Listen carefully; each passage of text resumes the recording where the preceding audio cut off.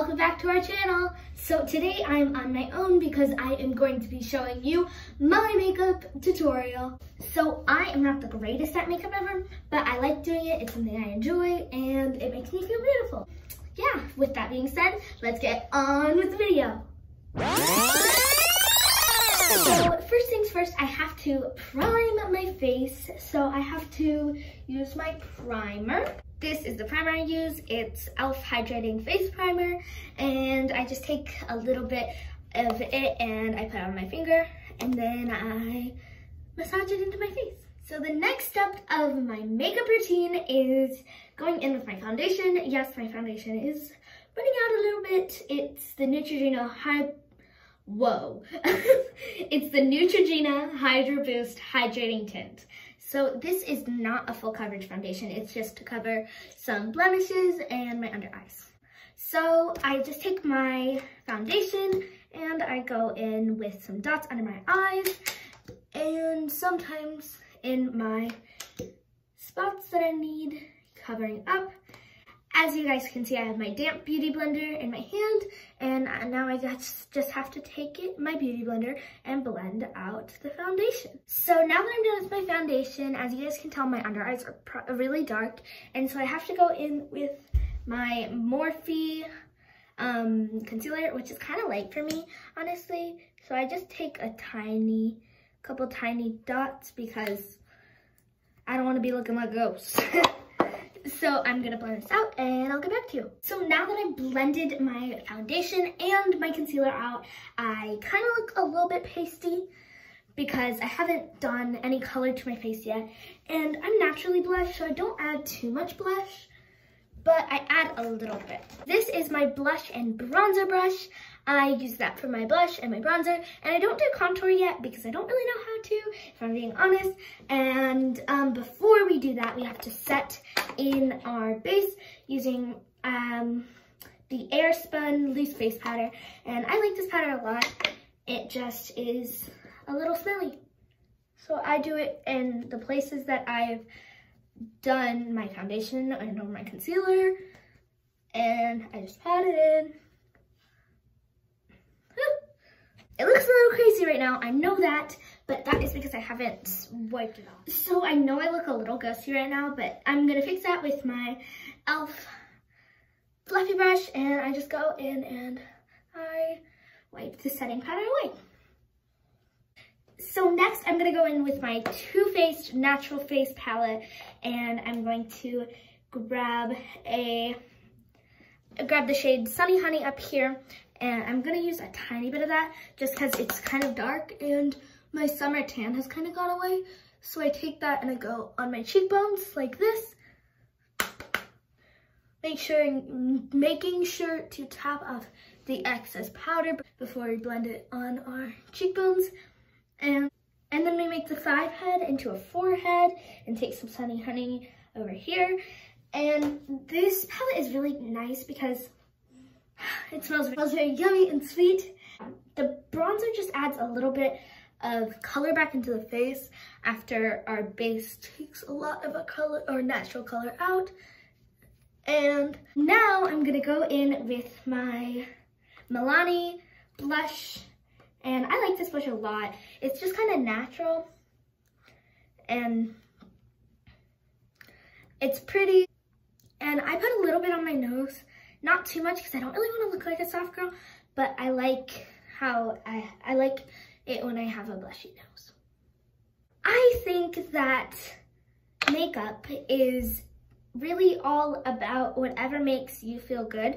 So if you want to wear long lashes and eyeliner or you want to wear a simple glam makeup look, that's fine if it makes you feel beautiful. And I don't think you should ever do makeup to impress someone. I think it should be all about making yourself feel better. So now that my blush and my bronzer is done, I'm going to be using my James Charles X Morphe palette. I love this palette a lot. My sister and my dad got it for me on a Black Friday sale. And I think I'm gonna go in with some face and I'm just gonna put it on the nose and a dot on the nose and then goes up. And I think that looks really good. I like this palette a lot because of the different shades in it and um, you can do just so much with it. You can either go for a natural look like I'm doing right now, or you can go like full on crazy. And now that I have finished doing it with my finger, I'm going back in with my blush, uh, my blush brush, and just smoothing it out a little bit to make it look more natural. And now I'm going back in with my blush and going back over it because I want it to be a pinkier highlight. And here's how my base looks so far with all of my bronzer and my blush on. And now we are going to be going on to the eyeshadow portion of this. I don't really wear a lot of eyeshadow because I just feel like I don't really need it. But occasionally, um, when I want to feel sparkly, I take my James Charles palette and I take a and I take a shimmery shade and I put that in the inner corners of my eyes. I'll do that and get back to you because I kind of need focus for that. I finished the inner corners and it's just a little sparkle on the inner corners. It's the shade below Ring Light. I can't remember the name right now because it um, got scratched off on my palette, but that's okay. Now I get to go in with my CoverGirl Full Lash Bloom by Lash Blast It's the pink one and I just go in and um, do my top lashes and a suggestion for anybody who wants like longer lashes is to wriggle the lash brush a little bit to make them longer and more full. I have a really stupid face when I do my makeup, but that's okay. See how I'm wriggling my brush? to make it longer and curled. I'll get back to you when I'm done with my lashes. I also do my bottom lashes, by the way. Okay, you guys, now that I have my lashes on and I'm looking cute, I did my bottom lashes too, if I didn't put that, tell you guys that. Now I go in with my CoverGirl Easy Breezy Brow, and it's just like a clear brow. I really like playing with makeup because I find it really fun and it's an easy way to de-stress from the world around you. So during this pandemic, I've been I've been playing a lot with makeup because it's just been making me not think about the world around me and And now I'm done with my brows and they're looking okay. I don't pluck my brows because I just feel like I'd mess up and then they'd be even uglier. So, oh, that's not very nice. um, so now I'm going in with my Clinique Chubby Stick Moisturizing Lip Color Balm Super Strawberry number seven.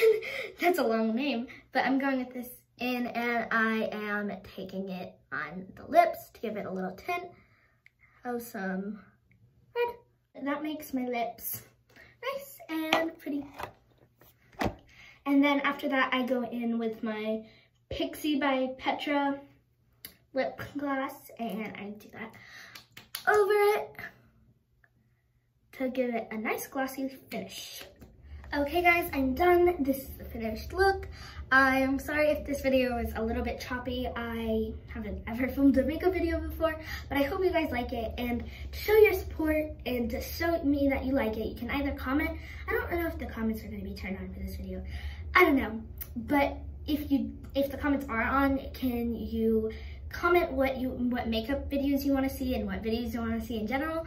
And I really hope you enjoyed this video. If you did, if you did enjoy this video, remember to subscribe, like, and turn on that channel post and and turn on that channel post notification so you never miss another video.